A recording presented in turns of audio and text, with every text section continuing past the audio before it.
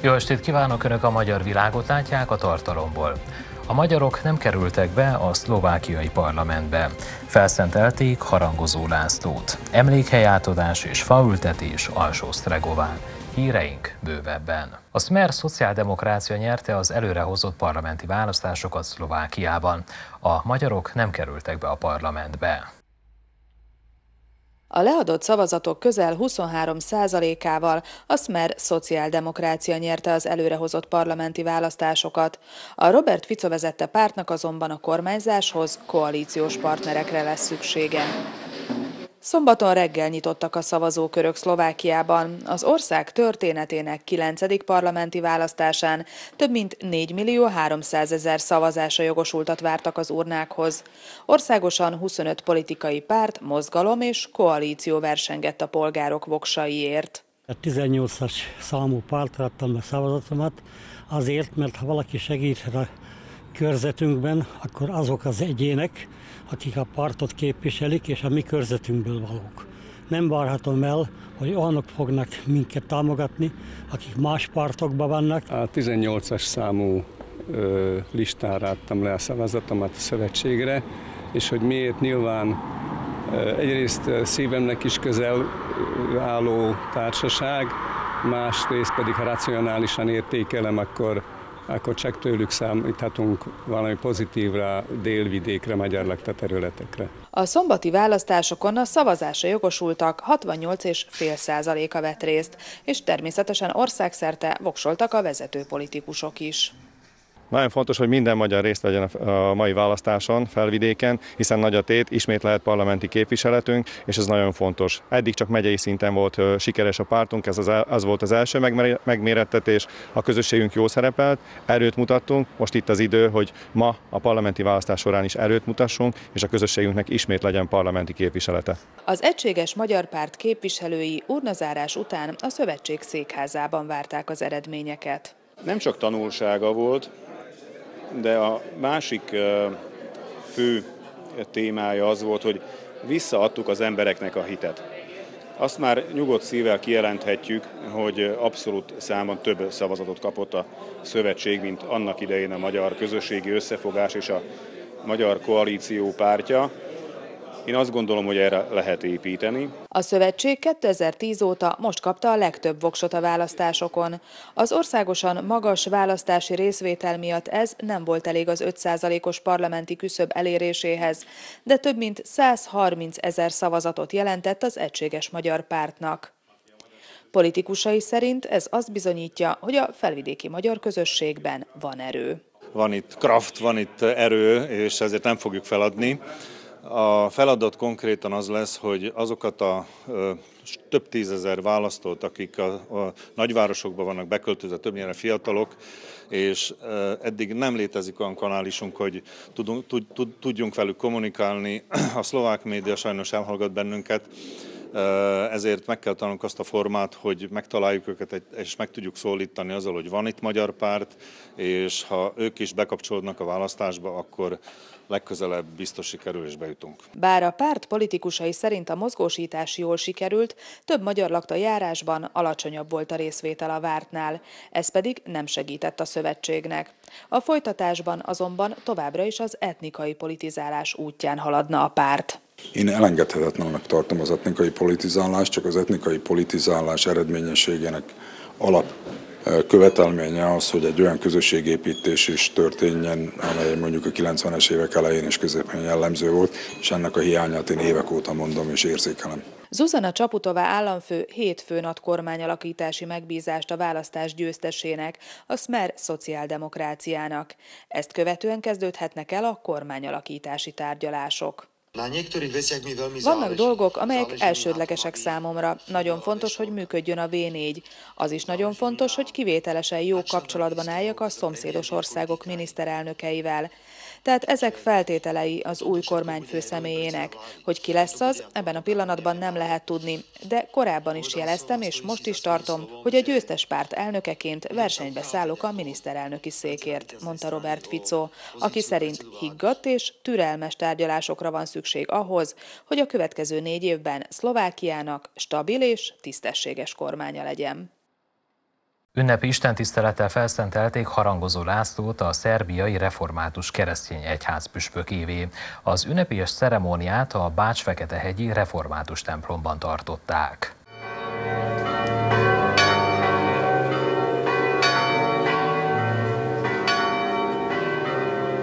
Harangszó kíséretében vonultak be a református egyházak képviselői, valamint Novák Katalin Magyarország köztársasági elnöke és Mája Gojkovics szerb kormányalelnök a Bács-Feketehegyi református templomba.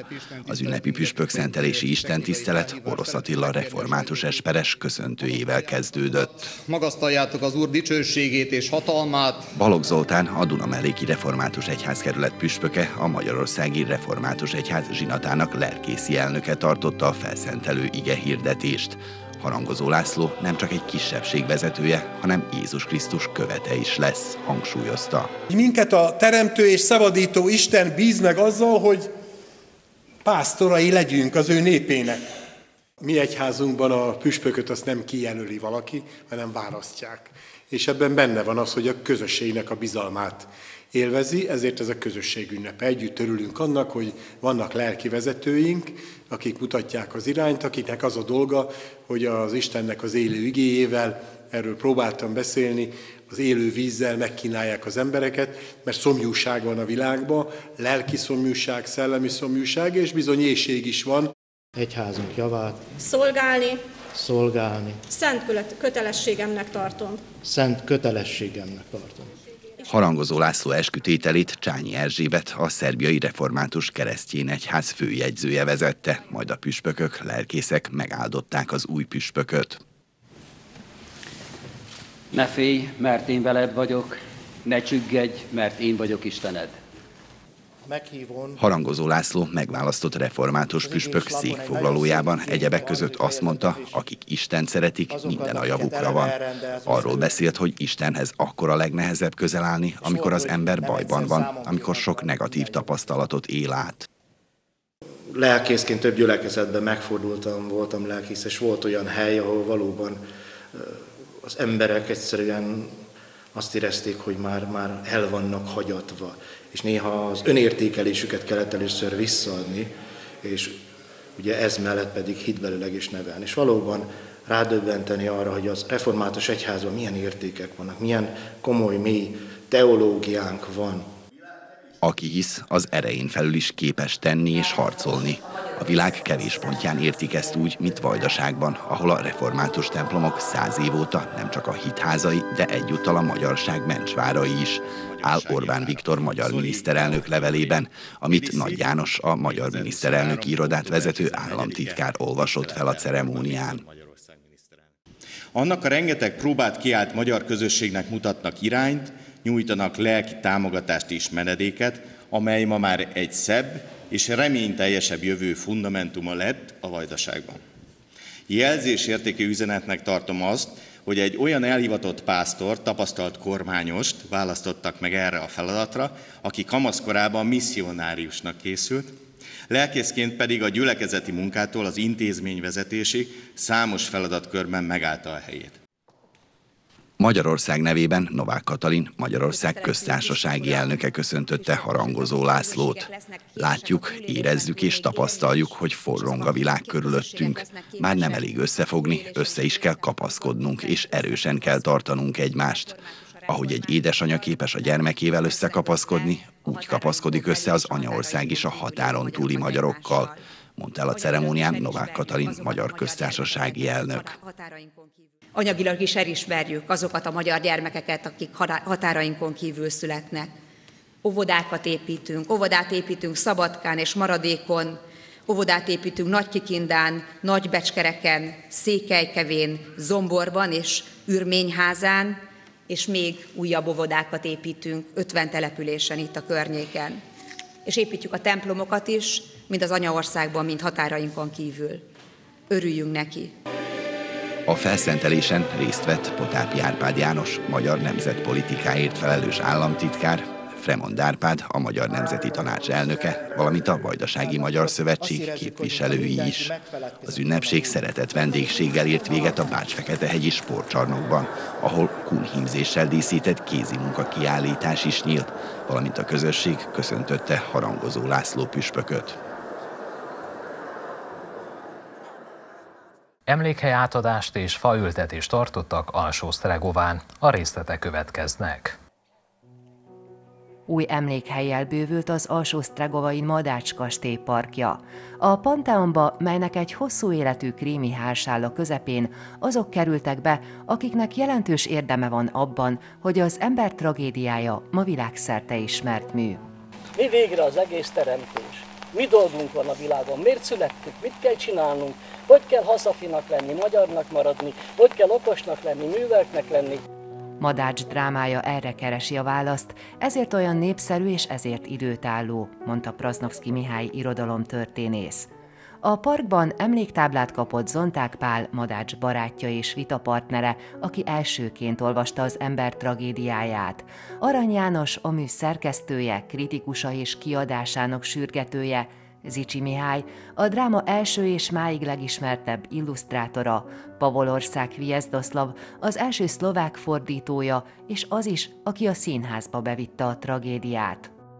Akinek állítottunk még, és ennek van egy külön pikantériája, hogy mai nappal, hiszen ez a Magyar Dráma napja és a tragédia színházi bemutatójának, az ős bemutatójának a napja, Paulai Ede a rendező. Ha ő nincs, Biztos, hogy színpadra került volna a dráma, de nem így, és nem ilyen korán. És nagyon innentől kezdve megindul az ember tragédia világkarrierre, mondhatom, mert a Pesti bemutató után elindulnak a Nagy Magyarországon, a vidéki színházakban a bemutatók.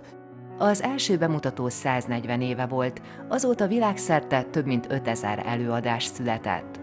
A Madács kastély állandó kiállításának látogatói a színpadi feldolgozásokba, a mű történelmi korokon átívelő szerkezetébe és Madács életébe is betekintést nyernek. A Magyar Dráma napján pedig Tépataki László Kit szerettél Ádám című darabját is megnézhették. Eszköz maradtál Erzsike, álnok bosszú angyal. Az előadás Madács feleségének, Fráter Erzsébetnek és édesanyjának, Majtényi Annának a visszájáról szól. Szájára vette a világ, azért, hogy mi vezette Madács Imrét ahhoz, hogy talán megírja a tragédiát. Ezt a Zente Ferenc Színház Salgotarjánból mutatta be legjobban egy felolvasó színházi produkcióban, hogy mi volt az a konfliktus, ami közöttük zajlott, és ami között örlődött maga az író, a költő Madács Imre. Az idei év Madács emlékév, amelyre a Szlovákiai Magyar Kultúra Múzeuma szervezetekkel, szakemberekkel együttműködve egész éves programmal, kiállításokkal, kvízzel, kiadványjal készült. Ennek köszönhetően Alsó Sztregovára is fokozott figyelem irányul. Rok 2023 je pre obec Dolnú Strehovú skutočne výnimočný práve. A 2023-as év alsó Stregovának különleges. Madács Imre születésének 200. évfordulója jegyében zajlik. A nagyíró itt született és itt is halt meg. A település bekapcsolódott a jubileumi rendezvény sorozatba. Évelején In Memoriam díszpolgári címet adományoztunk Madács Imrének, a falunapon pedig nem csak polgármesteri díjakat osztottunk ki, hanem Madács Imre díjat is. Ezt Jarábi Gabriella, a múzeum igazgatója, és Dana Veszelovská, a Madács kastély kurátora vehette át. Ez pedig egy rendhagyó előadás, a Föld hangjai című alkotás, amely új látószögből közelít Madácshoz. Az idézetek Tarcsilla hangján szólalnak meg, a zene Ürögi János, a kép Tar Kálmán alkotása, a természet, a technika, az új és az új rögtönzött keveréke. Ez egy MIDI kontroller, és a szoftverben lévő dolgokat igazából én ki tudom osztani, hogy melyik uh, tekerentyű vagy tolópotméter az mit irányítson. Hát igazából egy hangszer, hogy minden egyik kő uh, elindít egy hangszekvenciát. A természethangokat, a madarakat, az esőt itt a helyszínen játszották fel. A Madács tartozó parkban a Magyar Dráma napján fát is ültettek, ez már hagyomány. Idén a Pozsonyi Madács Egyesület nevében Csanda Gábor kislevelű hársat, a Szondi György gimnázium diákjai pedig fehér eperfát ültettek. Az emlékév következő eseménye egy kétnapos szakmai konferencia lesz. A legnagyobb csili kedvelők mérték össze tűrőképességüket a kis Radanováci Csili Fesztiválon. Az evőverseny menüjében a világ legdrágább és legerősebb erős paprikája is szerepelt. A csili paprika erősségét a Scoville skálával méri. A skálán a legerősebb paprikák akár több százezres értéket is elérhetik, ilyen például a jolokia vagy a habareno. Alul találhatók a gyengébbek, ilyen a cseresznyepaprika vagy a pepperoni. Az itt felsorolt paprikák közül a legtöbbet ki is próbálhatják a vállalkozó szelleműek itt Kisradanovácon a Csili Fesztiválon szárítva, darálva vagy szósz formájában, szinte minden verzióban megtalálható volt az erős paprika Kisrananováci Csili Fesztiválon. Az eseményre helyi és környékbeli termelők hozták ki portékájukat. A fajták azok tágspektrumban jelen vannak. Tehát általánosítva, hogyha nézzük nálunk, tehát a hazai csili termesztő szférában is, tehát a legegyszerűbb paprikáktól mondjuk rá, ami a legjobban hasonlít a hazai faj, úgymond hazai fajtákhoz, ugye a halapenyótól kezdve, a Carolina Reaperig, mint exotikumig, ami a legerősebb, az eseményt minden évben nagy érdeklődés övezi. A látogatók helyi kézműveseknél vásárolhattak, illetve a Bográcsban főtt csilis babot is megkóstolhatták. Ez a harmadik évben, hogy rendezzük meg az eseményt, hogy szerintem már tradícióvá vált, aminek nagyon örülök. Szép a látogatottságunk is, kirakodó vásárral is készültünk, ami kézművesek, hazai kézművesek vannak jelen, valamint mézet is lehet vásárolni, tinktúrát, ami egy érdekesség szerintem szintén. Valamint a csillisek itt vannak, akik az, azok emelik föl a, a szintjét végül is az egész eseménynek. Szabadka önkormányzata a Kisradanováci Csili Fesztivált is támogatja, ugyanis a környéken nincs más hasonló rendezvény, ahol a helyiek megismerkedhetnek és kikapcsolódhatnak. Azt vettem észre, hogy minden évben többen és többen vannak. Vannak ugye, akik szeretik az erős ételeket, a pikáns ételeket, úgyhogy én szerintem ez egy nagyon jó kezdeményezés, és a közösségépítő szerepét ki kell, hogy emeljük. A helyi közösségből, a helyi szervezetből több tagot is látok itt megjelenni, ebédelnek, jót szórakoznak egyet, és aztán hazamennek jó élményekkel. Ez az én tapasztalatom, és úgy gondolom, gondolom, hogy ennek folytatódni is kell. Az esemény fénypontja minden évben a Csili evő verseny, ahol idén négy fordulóban kellett megmérettetniük magukat a jelentkezőknek.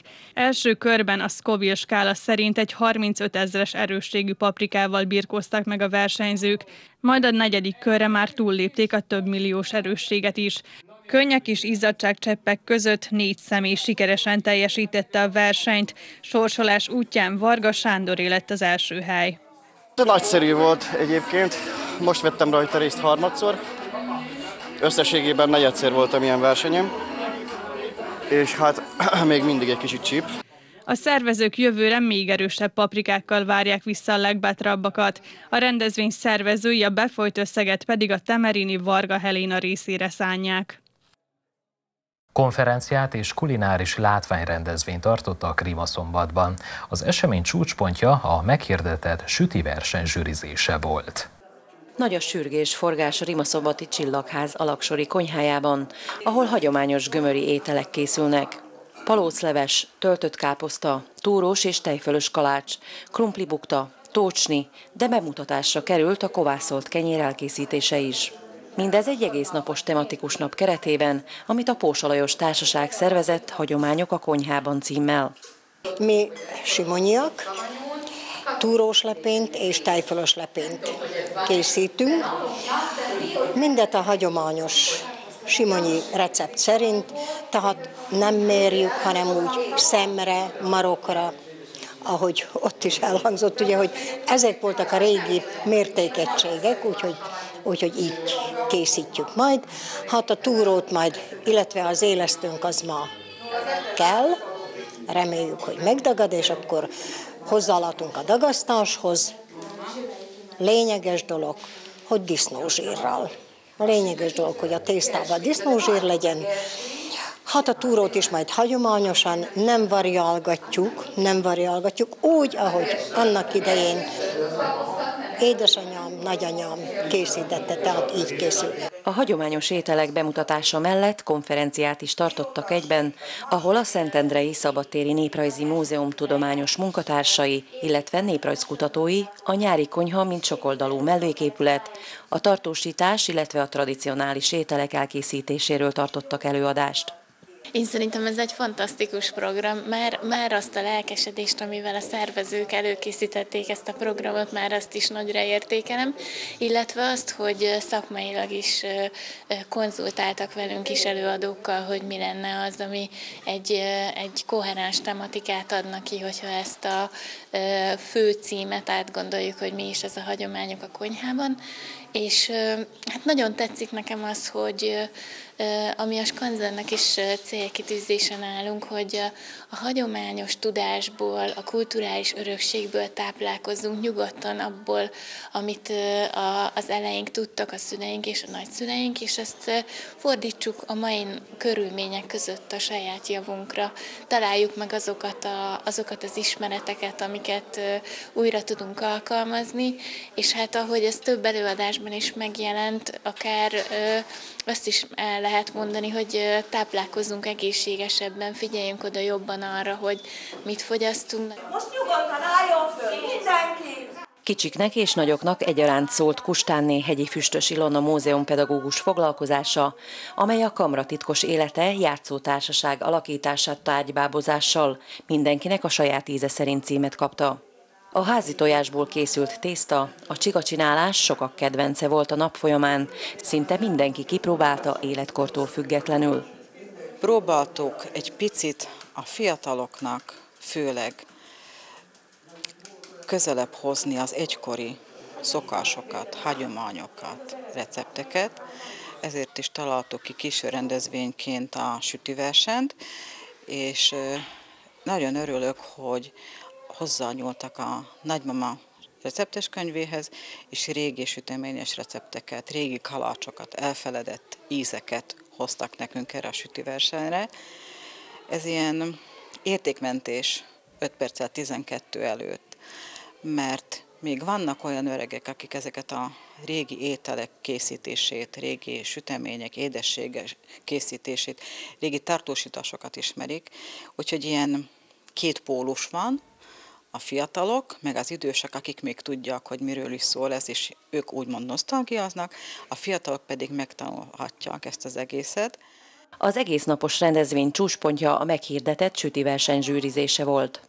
Idén 16 hagyományos gömöri édességgel neveztek a versenybe. A zsűrinek nem volt könnyű dolga az elbírálásnál, akik figyelembe vették a felhasznált alapanyagok mellett az elkészítés folyamatát is, illetve hogy mennyire jellemző az adott édesség gömöri vonatkozása.